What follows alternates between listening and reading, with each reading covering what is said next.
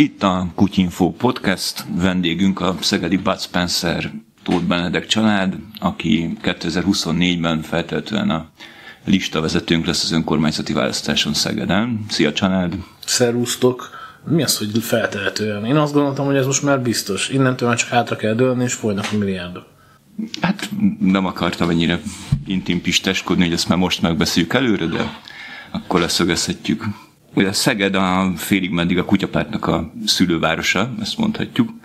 Hol találkoztál először a párt tevékenységével? Nagyon érdekes, mint a, a párt tevékenységével úgy találkoztam először, hogy akkor találkoztam Kovács Gergővel, amikor ő még nem tudta, hogy Kovács Gergő, és csak a bevezetés az informatikába tantárgyat gyűjtük közösen az egyetem padjain, aztán utána együtt gyűjtük a, a kocsmákban a sörös korsókat is, de akkor még azt sem tudtuk, hogy ismerjük egymást, és hogy később még jobban fogjuk ismerni egymást.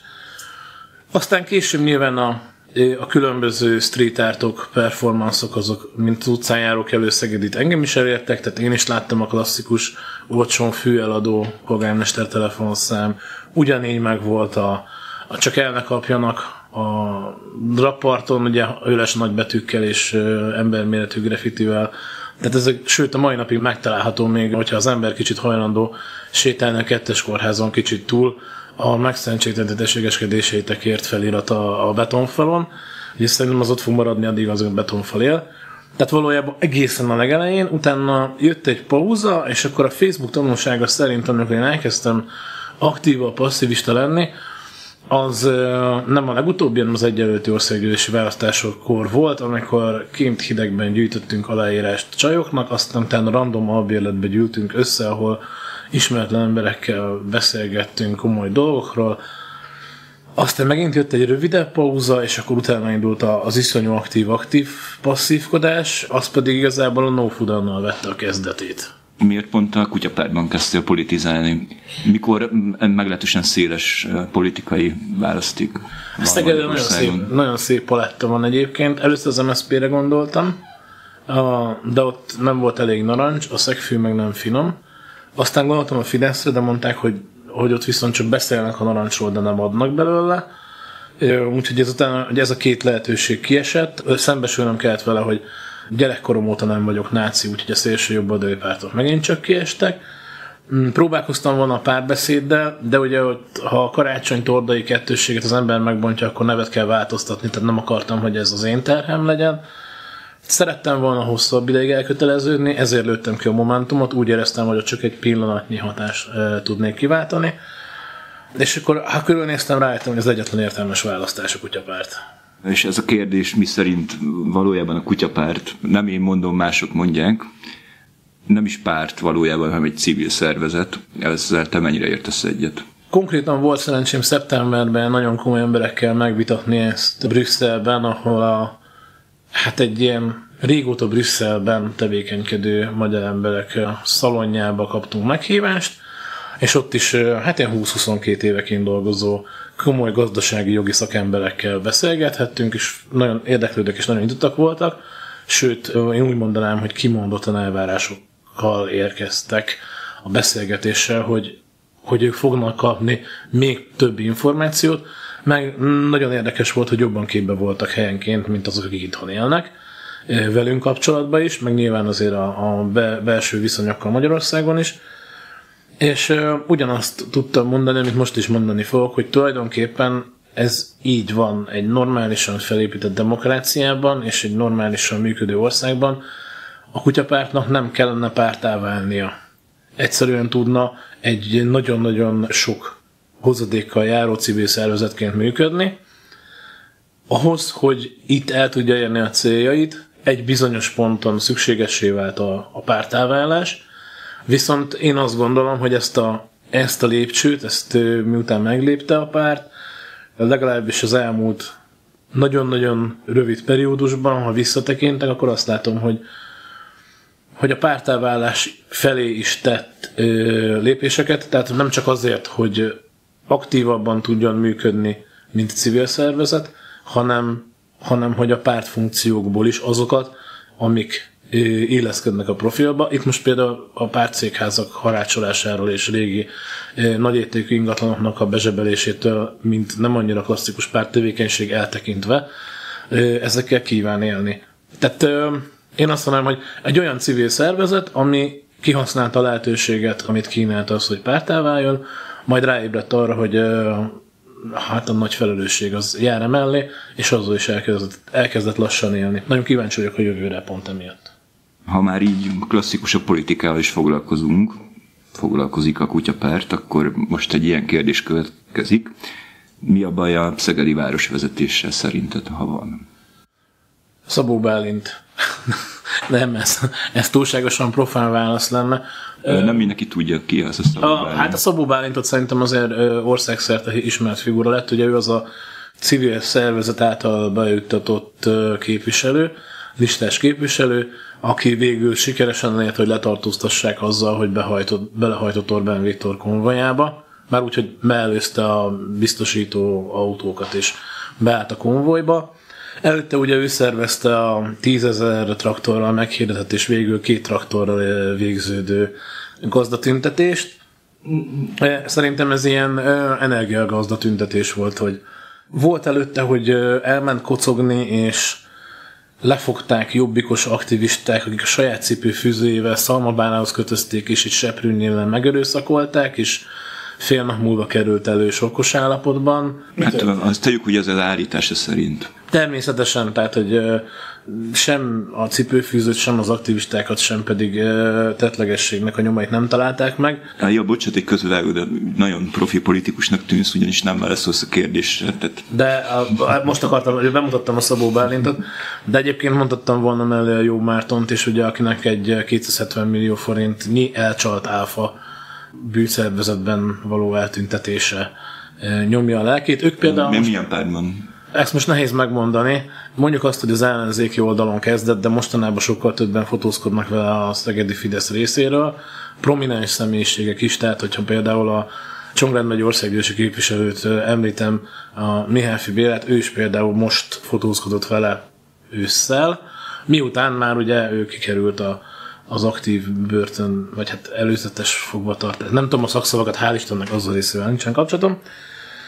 Ami egyébként a probléma, az nagyjából egyezik az ország problémájával. Nagyon ajánlom mindenkinek a Szegedváros közgyűlésének a felvételeinek a megtekintését. Személyesen sajnos baromi nehéz bemenni, ugyanis a Botka László polgármesterünk a valamelyik közgyűlés alkalmával, ahova többen szervezkedtek, hogy bemennek és megnézik. Életveszélyesen minősítette a szegedi polgármesteri hivatalban, a díszteremben a karzatot, ezért limitált létszámban lehet csak megtekinteni a közgyűlést élőben. Nekem például még eddig egyszer sem sikerült, mert hányszor telefonáltam, vagy tele volt, vagy pedig az a közgyűlés elmaradt. Szóval ezen a felvételen gyönyörűen látszik, hogy a, a képviselők nem egymással beszélgetnek a problémákról, hanem egymásról beszélnek a problémák kapcsán. Vannak például olyan hosszan húzódó ügyek, gondolok itt most a Párizsi körúton lévő úszótelkem 6 bérház problémájára, ahol a lakók végre el tudták kérni, hogy alpolgármesteri szinten foglalkozzanak a problémával. Egyszerűen nem hajlandók. Ugye, hogy az egyik oldal, és azt most nem akarom kiemelni se a Fidesz, sem pedig az, úgymond az ellenzék ki oldalnak a, az oldalát. Mind a két oldalra igaz, hogy ha a másik oldalra jön egy javaslat, akkor pusztán azért, mert nem az ő oldalról elkezdett, egyszerűen elzárkóznak előle. Ennek eklatáns példája volt, a, mikor a Szeged város közgyűlés elé felterjesztették, hogy az Iványi Gáborék által működtetett iskolának egyszeri 10 millió forintos segélyt nyújtson a város. Ez már majdnem átment, hogy akkor ezt megszavazzák. Az egyik képviselő név szerinti szavazást kért, mire a Fidesz frakció KDNP-stől kivonult, mert, mert nem tudom miért. Mert névvel nem tudják vállalni a véleményüket, és így viszont nem értem, hogy miért akarnak képviselők lenni, hiszen itt nem viselik senkinek az érdekeit. Szóval a legnagyobb problémát ezt jelenti. Ez egy olyan kardinális kérdés, ami az egész országban probléma, hogy a két oldal egyszerűen nem beszél egymással, és nyilván így nem, nem lehet hatékonyan dolgozni. Nevez meg Szeged három legfontosabb problémáját ez esetben, ami szerinted a legégetőbb jelen pillanatban. Itt már elkezdtél kicsit. Igen, az, az a baj, hogy amikor valaki azt mondja, hogy mondjál hármat, akkor mindig azzal kezdem, hogy fejtorpotrok ez gyerekkoromban beégett. Tekintsünk ettől egy kicsit jobban el. Az első problémát azt rögtön megneveztem szerintem, tehát én azt mondanám, hogy valahogy el kell érni azt, hogy a két oldal egymással beszélgessen, és hatékonyabban beszélgessen, lehetőleg a személyeskedés mellőzésével. Ez szerintem mindenképp egy igen fontos probléma. Bocsánat, hogy közben csak a, tett hozzá, hogy te mit tudnál tenni ezeknek a problémáknak a megoldásának az érdekében. Á, értem. Igen, nehezítsünk a dolgon, igen, persze. Igen. Nem olyan nehéz szerintem, hogyha kb. nem olyan nehéz, olyan, mint a kutyapártosnak lenni, tudod, hogy valójában pontosan tudjuk, hogy egy remek társadalmat építünk, mi az a 60 év, ami munka bele kell, hogy fetszeljünk ahhoz, hogy megváltozzon az emberiség. Ugyanerről van szó, hogy ha egy közgyűlésben az egymást követő felszólalások nem folyamatosan fűtik egymást, és nem újabb személyeskedés válaszol a következőre, hanem mindig van egy csillapító erő, aki, aki ezt igyekszik minimumra venni, és visszaterelni a fókuszt az adott problémára, ami egyébként sokszor a polgármesternek sem sikerül a felvétele tanulság alapján. Ez például lehet egy, egy olyan pont, amiben én azt látom, hogy, hogy hogyha ha, ha a világ ideális, akkor kettő, akár kettő mm, tudunk delegálni két tagot a közgyűlésbe, és ebben az esetben ezt két ember végezhetné rögtön, hogy akár felváltva egymás erősítve csökkentse ezeket a hangokat. A második, amit én mindenképp kiemelnék is, én problémásnak érzek, a Szeged csökkenő népessége. Amikor én Szegedre költöztem, akkor hát ugye egy nyüzsgő egyetemi városról beszélünk, tehát 20-25 ezer hallgató mindig van a városfalai között. A mindiget azt nyilván úgy értem, hogy minden évben, tehát lehet, hogy karácsonykor hazamegy mindenki a szüleihez, és éppen nem lesz 20 ezer de hogy nagyon sok diák van a városban, viszont Szeged lakosság az elmúlt öt évben kb. 15 ezer fővel csökkent, ennek pedig meglehetősen egyszerű okai vannak. Egyrészt a lakatási válság, ami szintén egy országosan a jelenlévő probléma. Szegeden annyival egészül ki, hogy például én szerettem volna telket vásárolni házépítés céljából Szegeden, gyakorlatilag képtelenség, elenyésző számban vannak telkek, majdnem minden telekre társasház épül, nyilván egy társasház építővel nem tudsz versenyezni, akkor sem, hogyha a csokkal, babaváróval, mindennel felvértezve szülők házának érzleges, hogyha vágsz bele. Egyszerűen a vállalkozó azt fogja mondani a telekre, hogy 200 millió, te nem tudod azt mondani, hogy 200 millió, és még építek el egy 60 milliós házat. Ezért az emberek kiköltöztek deszkre, Nyilván ettől nem szüntek meg Szegedibe lenni, tehát ugyanúgy Szegeden dolgoznak, Szegedre viszik iskolába a gyerekeiket, ezzel terhelik ugye a városba bevezető utakat, a csúcsforgalom az ugyanolyan, mint ami Pesten ismert a körúton, hogy lépésbe lehet vándorolni, ez, ezzel megint csak lehetne tenni azáltal például, hogy ha a Szeged közkedvelt, de most még nem belterületnek számító részeit, kiskerteket, zárt kerteket felzárkóztatnánk. Van olyan város, két olyan város, hiszem összenyitható lehetne, ott némi új parcellának a kimérése jó lehet. Ez talán így egy eléggé nagy falat, amivel érdemes lenne foglalkozni, és a harmadik, amit én mindenképp hozzátenni, az pedig a, mondjuk azt, hogy összefügg ezzel a másodikkal az élhető városnak a megteremtése. Itt gondolok a, a belvárosnak a rekonstrukciójára, hosszabb távon, és ezért én nagyon szívesen hajlandó lennék évtizedeket dolgozni, hogy most, amikor egy ma készült képet összehasonlítok mondjuk egy 20 évvel későbbivel, amikor az unokáimmal sétálok körbe a belvárosba, egy sokkal zöldebb, autómentes belvárossal találkozzak. Nyilván ennek nagyon hosszú folyamata van, ehhez tartozna felsítás, amiben hál' Istennek egyébként csak, hogy dicsérjem is Szegedet, ugye nagyon-nagyon nagy lépéseket tett előre a város, a termelvízzel fűtés kialakítása 13-15 kutat fúrtak Covid alatt, és a város nagy részét ráterelték egy sokkal tisztább fűtési rendszerre. Ezt lehetne folytatni azzal, hogy a Tiszapartot bekapcsolni a városba, hogy szerves része legyen, ne csak egy betonnal szegélyezett rakpart legyen belőle, mint mondjuk a Pesti rakpart, és akkor utána lehetne szépen bővíteni, felsítani, eltüntetni a járóköveket, egy kultúrátabb, sétálósabb, parkosabb övezetet kialakítani, csökkenteni az autók mennyiségét, modernizálni a tömegközlekedést, és alapvetően mondjuk egy olyan élhető város teremteni, ami mondjuk a borzalmas skandináv Kopenhága és környéke, vagy nagy Isten az élhetetlen Hollandia, ahol ugye rengetegen bicikliznek, és minden tele van zölddel. Tipikusan olyan dolgokat mondtál, amire a kutyapárt inkább figyelemfelhívó akciókat, street art dolgokat tud csinálni jelen állapotában.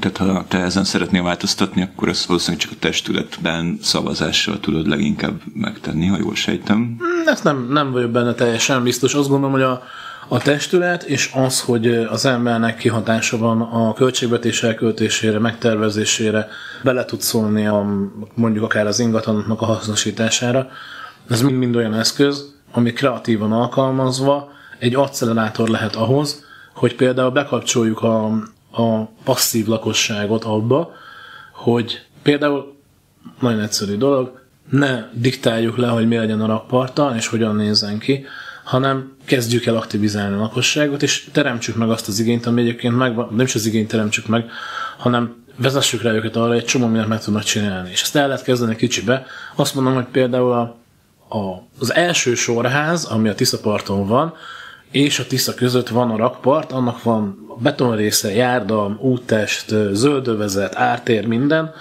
Kezdjük el kitolni a, a lépcsőháztól azt, amit a sajátodnak érzel a Tisza felé, azzal, hogy csináljunk egy közösségi kertépítést mondjuk. Osszunk ki virágokat, szólunk az akotárnak, szerez egy csomó megfelelő csemetét nekünk, leegyeztetjük a városnak a főkertészével, kiparcellázunk egy darabot, és azt mondjuk, hogy aki itt lakik ezekben az utcákban, jöjjön, kezdje el csinálni, mi adjuk hozzá az alapanyagot, onnantól kezdve arra úgy fog tekinteni, mint a sajátja. És egyre nagyobb igénye lesz, hogy innentől a tisztáig legyen egy olyan élhető közeg, amiben ő úgy megy le, hogy folyamatosan jól érzi magát.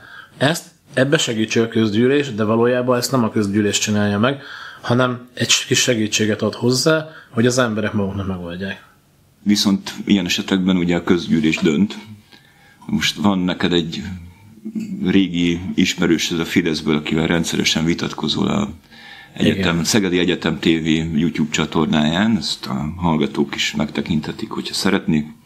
Sőt, még tovább, mert még, ráadásul ezt országosan a Telekom az, az Egyetem TV tartja a műsorlistáján. Na hát akkor itt... 234-es csatorna, vagy valami elvetem. Mondhatjuk, de... hogy egy sztárral ülök itt szemben. Az a kérdés, hogy a német Ferencer, aki ugye a Fideszes önkormányzati képviselő, és gyakran keveredsz vele éles vitában, ez gondot jelente tene el neked, hogyha együtt kéne szavaznod, mondjuk valamelyik olyan ügyben, amit épp az előbb soroltál föl? Ja, nem jelentene problémát. Én nekem úgy érzem, hogy a legnagyobb problémánk az ez, hogy ez a kérdés felmerülhet, hogy tovább megyek. Nekem azzal sem lenne problémám, hogyha egy megfelelő helyen, legyen ez az Európai Parlamenttől kezdve a Magyar Parlament, Orbán Viktorra kéne együtt szavaznom. Sőt, ha nagyon muszáj, tudok mondani olyan kormányintézkedést, amire azt mondom, hogy gyakorlatilag maradéktalan elégedett vagyok vele, és megszavaztam volna ebbe a formájába. Az lenne szerintem a, a, az abszolút minimum, és a, a legkisebb közös többszörös, vagy hogy mondjam, igen, hogy, hogy ügyek és, és elvek alapján tudunk dolgozni együtt, tehát, hogyha egy KDNP-s képviselőtől jön egy jó ötlet, akkor csak azért, mert KDNP-s nem fog Dávka keresztbe tenni neki, hanem megnézem, hogy az ötlet miről szól, és hogyha úgy látom, hogy az ötlet értelmes, és velem, velem és azzal, amit én gondolok, összeegyeztethető, akkor nyilván együtt fogunk szavazni. Hát az egy jó ötlet. Hogyha az embereknek az érdekét szolgálja, és olyan dolog jön létre, akkor, akkor miért akadályozzam csak azért, mert, mert mondjuk Fideszes, vagy mi hazánkos, vagy második reformkoros, kit hagytunk ki? Párbeszédes. Ja, Szegeden nincs, bocs. Néppártyán. A néppártyán az van. És melyik kutyapártos akcióra vagy a legbüszkébb az utóbbi Szegeden? egy évből Szegeden? Abszolút a, a ásókára és a, a tökönszúrókarok figyelemfelhívására. Volt össze, összetűzés az erős szó, volt érdekegyeztető vitám a Szegeden a, az önkormányzatnál dolgozó emberkével, aki nehezményezte, hogy miért kell nekünk ekkora csinadratát verni ezeknél a karoknál. Aki esetleg nem tudná, hogy miről van szó, a bicikli utakat szegélyező, sötét zöldre festett, és egy egy centi széles világító csíkkal ellátott oszlopokról beszélünk, abban a városban, ahol az elmúlt öt évben ketten haltak meg úgy, hogy kerékpárral nem részegen, tehát nem bedrogozva, alkohol ittasan, hanem egyszerűen a sötétben a nem megfelelő kivilágítás miatt ütköztek faággal, vagy ilyen oszloppal, elestek és meghaltak mind a ketten, mert annyira szerencsétlenül estek. Ráadásul mind a kettő relatíve fiatal ember volt, tehát nem is arról van szó, hogy 87 éves Pali bácsi ment haza, beborult az áróba, szegény meghalt, hanem, és ez egy létező probléma. Jelen pillanatban a József Attila sugárút az, ami leggyakrabban övezett ezekkel a karókkal. Népharagot is kiváltott, mert kiraktak két újat, és azt másodpercek alatt ilyen 40 fokos szögbe kirúgdalták az emberek. Ugyanígy az Algyói bicikli úton végig ki voltak rakva, ezeket hál' Istennek valaki kiszedegette. Nem tudom, hogy ez most konkrétan a városhoz tartozik, vagy valami más fenntartóhoz, de azt szisztematikusan profi módon szedték ki, tehát azt újra valahol. És ugye ezeket festettük mi le foszforeszkáló festékkel teljes magasságában, megkaptak egy ásókát a, vagy hát obi vagy éppen melyik helyen mit. Ezt most folytatjuk, mert van rá igény, és az embereknek is tele van a töke ezekkel a tökönszúrókkal. Ez például az egyik matrica, amit felszoktunk mostanában ragasztani rájuk. Emellé jön még a, a mérnöki tévedés, még szaggatott vonal itt vágdel, és hasonló matricázások. Úgyhogy én e- ezt mindenképp azt mondom, hogy talán az idejéből ez volt a kedvenc, és megengedsz még... Ez pontosan hogy néz ki, azt nem mondtad el. Már Tudom, hogy egy képet podcastben elmagyarázni, ez nem annyira. Hogy hogy néz ki? Hát, hogy egy körülbelül nem úgy, hanem maga a, a street art. Ja, a street art maga az úgy néz ki, hogy a Star Wars karakter a bicikli út úttestére van felfújva, és a keze végében mered fel ez az oszlop, amit befújtunk a festékkel. Egy este, amikor megy az ember, akkor messziről lát egy világító fénykardot a biciklének a lámpájában, mert ugye mindenkinek van a biciklén lámpa és utána, amikor odaér, akkor látja meg a kerékpárúton a magát a, a figurát. Úgyhogy ez lenne az egyik, és akkor egy másik dolog, ami, ami szerintem egy nagyon-nagyon friss dolog, és nagyon-nagyon jól sikerült, ez egy apró pici innováció a régi kutyapártos dolgok között.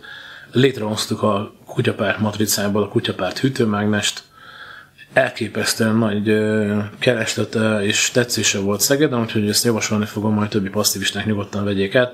Karácsonyra feldíszítettük az egyik villamos megállót mágneses matricákkal, és egy éjszaka hagyagduk. Mi kiraktuk kedden este, és szerda délre már lekopaszították az ajándékmágneseket. Kénytelen vagyok megkérdezni a béka ügyet. A békák köszönjük szépen, jól vannak. Önazonosak. Ugye itt az egyik lakótelepen volt egy ilyen szökőkút, ami eredetileg talán pillangó. Pillangó volt a művész nevén. Ez egy, hát ez egy szürke nyersbeton egy szögletes, nevezzük talán kicsit absztraktba hajlónak. Igen, igen, és valamikor állítok szökőkútként funkcionált, ha jól Igen. tudom, és ez lett szép színesre egy felfelé. Lebékázva. Béka, békával alakítva és ez kultúr és művészet történészek rossz állását váltotta ki, mert uh, állításuk szerint az egy szobor, amiről nem tudom, hogy tudtatok-e, vagy ha elmondod, hogy ez hogy zajlott tulajdonképpen. Elmondom, ahogy, ahogy én tudom és emlékszem rá, és elmondom azt is, hogy szerintem milyen hibákat követett el melyik oldal és hogyan. A legjobb tudomásom szerint, hogy van egy panszívistánk, aki nagyon-nagyon elhivatott a street art vonalán, és ő vetette fel az ötletet, és kivitelezte is saját maga, tehát a rendelkezésre eszközével létrehozta ezt a béket, ami egyébként szerintem tök jól sikerült. Tehát ez nem egy, nem egy olyan street art, amire az emberek azt mondják, hogy ezt egy szilveszteri válogatásba elrakjuk, mert ez iszonyú ocsmány lett, és majd jót rögünk rajta. Ez tényleg egy jól sikerült dolog. Erre született ugye egy művészettörténész, azt hiszem művészettörténész, tollából egy bírálat, hogy hát ez nem kellett volna hozzányúlni, ez, ez egyébként egy műalkotás, és hogy tulajdonképpen itt nem, nem hozzáadott érték történt, hanem éppen ellenkezőleg egy meglévő értéknek az eltüntetése és elrondítása. Erre szerintem a szegedi passzívisták egy része rosszul reagált, és ezt támadásnak vette, és alapból ingerülten válaszolt. Ez szerintem hiba volt. Ez teljesen egyértelmű, hogyha bármit csinálunk, a világon akármennyire tökéletes dolgot is lesz, akik nem fog tetszeni. Ezt szerintem el kell fogadni. A, a bírálatot nyugodtan meg lehet hallgatni, akkor is, ha nem értünk fel egyet. Nekem például a kutyapárton belül volt elég komoly vitám arról, hogy én legszívesebben Szegedről a Mastérnek az épületét eltüntetném, és két építészethez közelebb álló ismert passzivistánk mondta, hogy hülye vagyok. Az nagyon gyönyörű, ezért klasszikus szociál épület, és az, az úgy gyönyörű, ahogy van, és ezt meg kell, meg kell tartani. Mondtam, hogy persze, akkor vigyük ki a hortobágyra, tegyük ki a homok és közepén, akit érdekel, oda megy megnézi. és akkor végül kompromisszumosan megállapodtunk abban, hogy rendben van, akkor tüntessük el onnan a buszokat, vegyük ki a hatalmas nagy aszfaltréteget, hagyjuk ott az épületet, és az épületnek adjunk egy új funkciót, és így kapcsoljuk be újra a városba. És szerintem ez a vonal, amit lehet követni a béka kapcsán is. Igen, lehet, hogy elkövettünk egy hibát, mert nem értünk a művészethez ilyen szinten. Viszont azt tudni kell, hogy miután ez az első elég intenzív ö, csapás és ellencsapás megtörtént, megkerestük a, a művésznek az élő rokonait, és megkérdeztük, hogy mi az ő véleményük, mit tudunk tenni, hogy esetleg, hogyha rosszul érzik magukat, vagy úgy érzik, hogy tényleg ez egy helyre, ők nem válaszoltak semmit, pedig úgy érzem, hogy ha valaki, akkor ők a legérintettebbek benne, Alapvetően pedig én is úgy vagyok fel, hogy csinálunk sok dolgot, ha valakinek tetszik és megírja, köszönjük, ha valakinek nem tetszik és megírja, akkor ezt nekünk érdemes úgy kezelni, hogy ő is elmondta a véleményét, az is fontos, megszívleljük és tanulunk belőle. És akkor Béka az köszöni szépen Béka köszöni szépen jól van, megmaradt, azóta követte egy-két kisebb volumenű hasonló beton képződménynek a, az újjászületése, és amennyire én most tudom, még egy következő lépcső van ugyanennek a művésznek a tollából folyamatban, csak nagyon sokat szenved vele, mert egy igazi kuriózummal készül, és akárhogyan dolgozik rajta, olyan fajta mérnöki precizitás és pontosság kell hozzá, ami igazából van benne egyfajta művészi tökéletességre törekvés is, nem akarom pontosan lelőni, hogy, hogy mi várható, de az a lényeg, hogy ha egy picit egyszerűsítene az elvárás rendszerén, akkor már kész lenne, és gyakorlatilag már mm, el is készült volna. Így most várja a jó időt, hogy újra lehessen a szabadban tevékenykedni, és azt mondta, hogy van három hónapja tökéletesíteni a módszerét, hogy működjön úgy, ahogy ő szeretne, és tényleg egy, egy kuriózum legyen belőle. Jó, hát utolsó kérdés. Azt már tudjuk, hogy a milliárdok csordogálására vársz, azt ugye az elején Ez teljesen természetes, így De van. ezen kívül foglald össze kérlek a politikai arszpolitikádat egy mondatban. Lehet kettő. Köszönöm, nagyvonalú vagy. Már ez rögtön két mondatból. Az arszpolitikám ennyire szépen talán nincs megfogalmazva, de igyekszem, igyekszem zanzásítani. Pofátlan leszek, és lenyúlom a kutyapártnak 2000 éves szlogenjén. Kezdem azzal, ami szerintem az egyik legzseniálisabb matricánk és szlogenünk, az élet szép. És akkor, hogy ne legyen ennyire statikus, és ne legyen ennyire egyszerű, mögé tenném még azt, hogy legyen minden jobb. Tehát attól, hogy az élet szép, attól még folyamatosan lehet ügyködni rajta, hogy még szebb legyen, vagy még több embernek legyen szép, és záró végezetül, hogy ne csak az legyen, hogy, hogy akkor loptam a kutyapártól, és saját tollakkal ékeskedem mégis idegenül. Van egy mondat, amit szintén loptam, ezt viszont a Novák Pétertől loptam. Van egy dal, a Budapest Voices dolgozta fel, és ők forgattak egy klippet, klip nekem témája az a legszebb mondat, így is, meg, így is találjátok meg egyébként a YouTube-on, hogy legszebb mondat, ismert és kevésbé ismert embereket kérdeztek meg arról, hogy mi volt a legszebb mondat, amit valaha hallottak, ami, ami megragad bennük, és akkor ők ezt úgy forgatták le, hogy miközben énekelnek, mindig bevágják Scherer Pétert például, ö, tudom most hirtelen az csak az ő arca ugrott be, és közben a Novák Péter is egy függöny mögül előugrik, és mindenki egy kartonlapon tartja a legszebb mondatot, amit hallott. Hát itt ilyen nagyon komoly dolgokra kell gondolni, mint például ismeretlen ember kell írja, hogy, hogy mostantól főztetette a húslevesem. És nyilván ez azért, mert nála ez ragadt meg, vagy a kutyád egy igazi szépség. És akkor neki ilyen és a Novák Péternek a papírján annyi van csak kifelírva, hogy a cselekvés szabaddá tesz. És ebben szerintem rengeteg minden benne van, hogy akármennyire borzalmas az élet, akármennyire borzalmas sok körülmények, bármi van, mindaddig, amíg cselekvő képes az ember is tud tenni ellene, addig, addig valójában szabad, mert ott van a kezében vagy a hatalom, vagy az ecset, amit tud használni. Köszönjük szépen, Tóth Benelek család, a Kutyapárt önkormányzati listavezetője Szegedről, én pedig Terdik Roland voltam. Sziasztok! Sőt, még tovább te még mindig Terdik Roland Sziasztok!